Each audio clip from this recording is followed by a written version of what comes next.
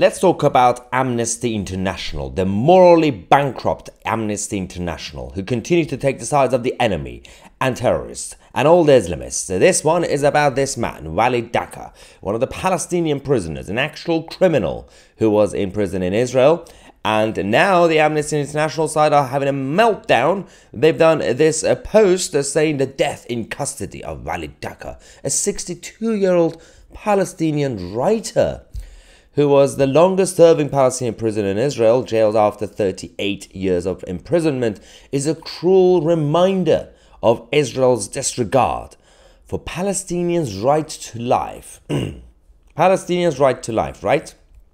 The same Israel that continues to allow, until 7th of October, Palestinians from Gaza or wherever, or the West Bank, to go to Israel to get educated, to get medical treatment, and to work. Yes, the same evil Israel. But what's going on with this? This Palestinian writer, who is Walid Daqqa. In case you want to know the truth that Amnesty International is not telling you, you must look at this face. That was Moshe Tamam. He was an Israeli, a young man whose life was taken by Walid and his gang of minions. That's what happened. That's what happened in the 1980s.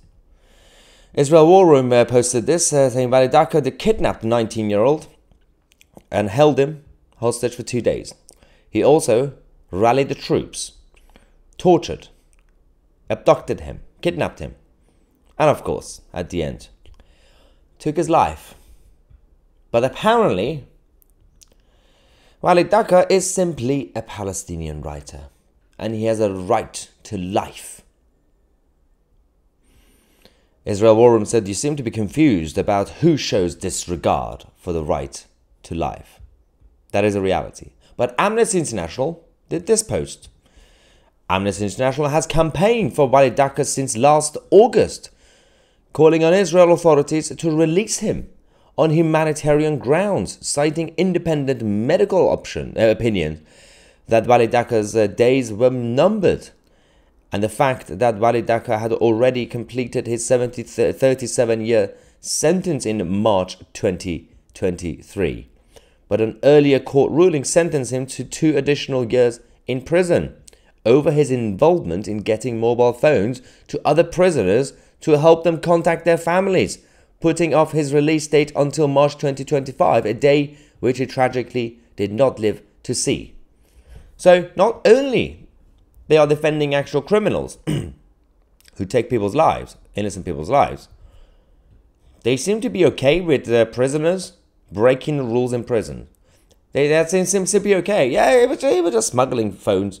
Why did you have to add an additional two years? He, did nothing. He just wanted to talk to their families two months before October 7th that happened. Yeah, that doesn't sound dodgy at all. Amnesty International.